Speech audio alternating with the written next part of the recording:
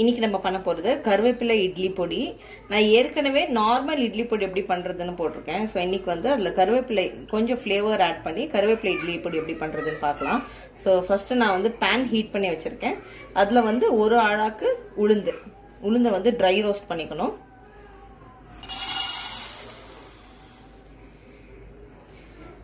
இப்போ பேன்ல உளுந்து போட்டுட்டோம். போட்டுட்டு ட்ரை ரோஸ்ட் பண்ணணும். நல்லா மீடியம் ஃப்ளேம்ல அது ட்ரை ரோஸ்ட் பண்ணிட்டே இருக்கணும். கொஞ்சம் லைட் ப்ரௌன் ஆகிற வரைக்கும் இதை நம்ம ரோஸ்ட் பண்ணிக்கலாம். மீடியம் ஃப்ளேம்ல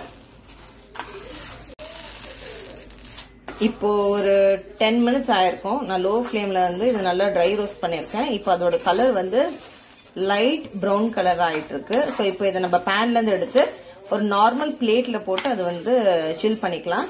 நெக்ஸ்ட் வந்து நம்ம கடலைப்பருப்பு ஆட் பண்ண போறோம். உளுந்து எவ்வளோ எடுத்தோமோ அதே அளவு கடலைப்பருப்பும் போடணும். ஸோ நான் இது ஒரு ஆழாக்கு எடுத்திருக்கேன். ஸோ கடலைப்பருப்பு நான் ஒரு ஆழாக்கு ஏற்கனவே மெஷர் பண்ணி வச்சிருக்கேன். ஸோ அதையும் போட்டு ட்ரை ரோஸ்ட் பண்ணிக்கலாம். ஸோ இப்போ இதை வந்து பேன்லேருந்து எடுத்து ஒரு பிளேட்ல போட்டு கூல் பண்ண வைக்கலாம். இப்போ நெக்ஸ்ட் கடலைப்பருப்பு ஆட் பண்ண போறோம். அதே மாதிரி ட்ரை ரோஸ்ட் பண்ணிக்கணும். உளுந்து வந்து ஒரு ten to ten to twelve minutes ஆச்சு. கடலைப்பருப்பு வந்து உங்களுக்கு ரொம்ப நேரம் ஆகும். ஒரு ஃபிஃப்டீன் டு எயிட்டீன் மினிட்ஸ் கிட்ட ஆகும் கடலைப்பருப்பு வந்து ரோஸ்ட் ஆகிறதுக்கு லோ ஃப்ளேம்லேயே வச்சு இதையும் ரோஸ்ட் பண்ணுங்கள் நீங்கள் ஃபுல் ஃப்ளேம்லேயும் வச்சு பண்ணலாம். பட் ரொம்ப நேரம் கண்டினியூஸாக நீங்கள் வந்து இதை மிக்ஸ் பண்ணிகிட்டே இருக்கணும். ஸோ லோ ஃப்ளேமில் பண்ணுறது பெட்டர் ஸோ நம்ம கடலைப்பருப்பையும் ப்ரௌன் ஆகிற வரைக்கும் வெயிட் பண்ணி நல்லா ரோஸ்ட் பண்ணிக்கலாம். ஸோ இதை ட்ரை ரோஸ்ட் பண்ணி ஒரு ஃபிஃப்டீன் டு எயிட்டீன் மினிட்ஸ் ஆயிடுச்சு.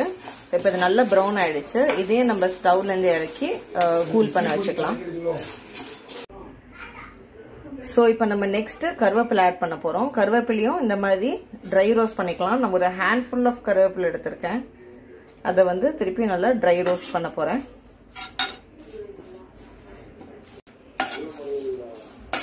இப்போ ஒரு டூ டு த்ரீ மினிட்ஸ்ல கருவேப்பிலை இந்த மாதிரி ஆயிடும். நல்லா அந்த லீஃப் எல்லாம் நல்லா சுருங்க ஆரம்பிச்சிடும் ஸோ இந்த ஸ்டேஜ்ல இதையும் வந்து ஸ்டவ்ல இருந்து எடுத்து கூல் பண்ண வச்சுக்கலாம். நீங்க கருவேப்பிலைய எய்தர் இந்த மாதிரி ட்ரை ரோஸ் பண்ணலாம்.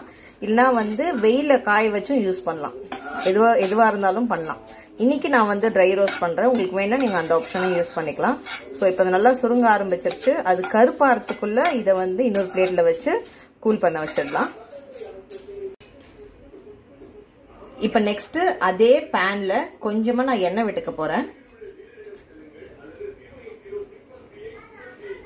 கொஞ்சம் எண்ணெயில பூண்டு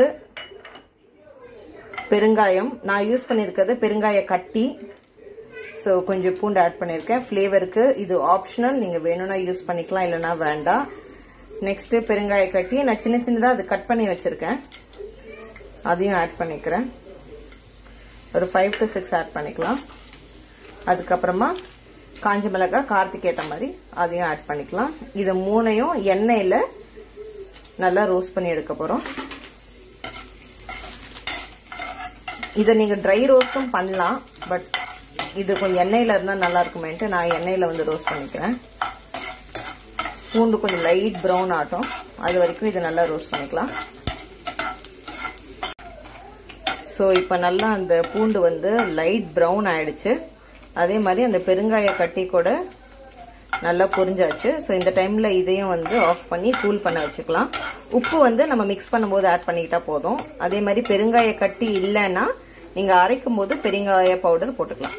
இப்போ இதையும் நம்ம வந்து ஹீட்லேருந்து எடுத்து கூல் பண்ண போகிறோம் அதே மாதிரி பருப்பையும் நம்ம ஏற்கனவே கூல் பண்ண வச்சுருக்கோம். எல்லாத்தையும் மொத்தமாக போட்டு அரைச்சிடலாம்.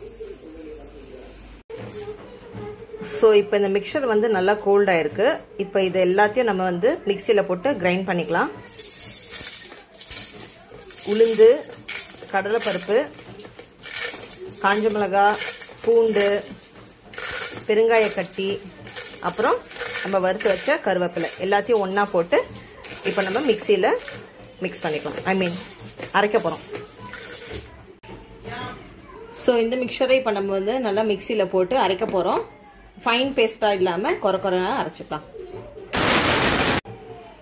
ஸோ இப்போ நான் வந்து பாதி மிக்ஸ் பண்ணியிருக்கேன் ஸோ சில இது நல்ல பவுடராக இருக்குது சிலது முழுசாக இருக்குது பாருங்கள் ஸோ இந்த டைமில் கொஞ்சம் சால்ட் ஆட் பண்ணிக்கலாம். One teaspoon of salt one to one and half teaspoon of salt இதை ஆட் பண்ணி திருப்பி நம்ம மிக்ஸ் பண்ணிக்கலாம். ஐ மீன் கிரைண்ட் பண்ணிக்கலாம்.